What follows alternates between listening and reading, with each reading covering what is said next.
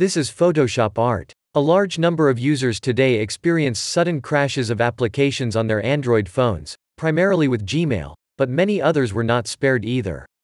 Fortunately, Google released a revised version of the Android System WebView app during the day, and all you have to do is update it on the Play Store and everything will return to normal. Link is in the video description. Thank you for watching this video. Subscribe for more tips.